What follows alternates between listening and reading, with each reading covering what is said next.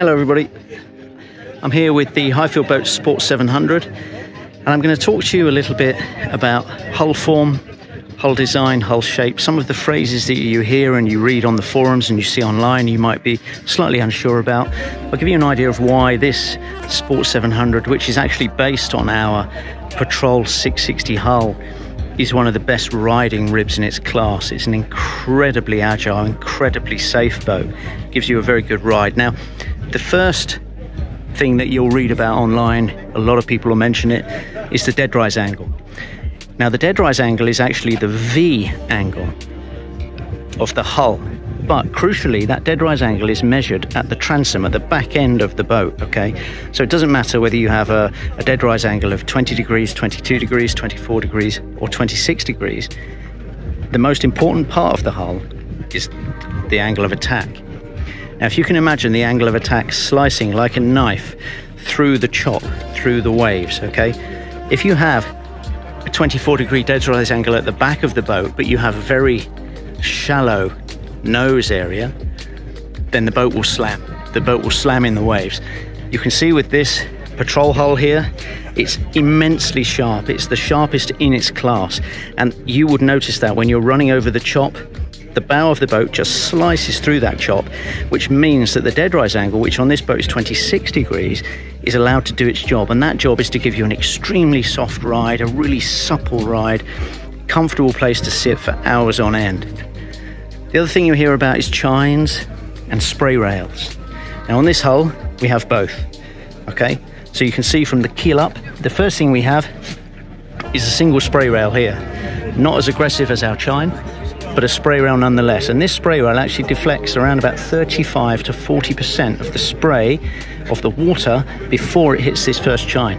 So if you can imagine as the bow comes into the water after it's been on a wave, 40% of that water is deflected away before it hits here. Okay, so this means that you have a drier ride and you have a more supple ride, and it gives you an awful lot more lift uh, when the boat is running at speed, which is important, uh, important in calm conditions when you want to maximize performance. You'll notice on our patrol hull, sport hull, that we have two aggressive chines here, okay? And those chines are designed to blast the spray away from the boat to keep you guys dry when the conditions get nasty. They also give you immense grip when you throw the boat into a turn. This boat will never give out in a turn. You could throw it into turns as hard as you want to. It will never give up. Okay, so this, the ability of this hull is really quite amazing. So if you come backwards, you can see that that angle of attack in the bow becomes slightly shallower the further aft you come. That's also an important point when you're talking about dead rise. You will see here the angle at the stern is much shallower than the angle in the bow, but it's still 26 degrees, which is very deep, actually, very deep in the rib world. You'll notice again, we've continued our chines, our large flat chine surfaces, which will blast the spray away, give transom lift, help this boat get up and run. You'll also notice what we've done here is we built in a stern planing pad. That's just V area that goes forward, goes almost the full length of the keel. And what that means is that when you do throw the boat into an extremely tight turn, instead of it snapping back on you at the end, if you push the boat too far, it will just slide. So it'll be ultra safe, ultra stable. It won't try and hurt you no matter how hard you push this hull. This is designed just at the very limit of the grip of the boat. It's designed to allow the back end just to slide. And that is a massive safety feature. Again, you can see the strength of this hull.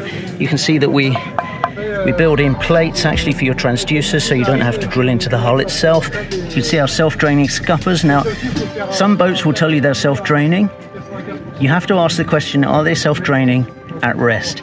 This is self-draining at rest. What that means is the water line, when the boat is sitting on its own, the water line will be around about here. That means any rainwater that comes in the boat when you're on a mooring comes straight out of the scupper. Some boats will tell you they're self-draining, but the water line will be here.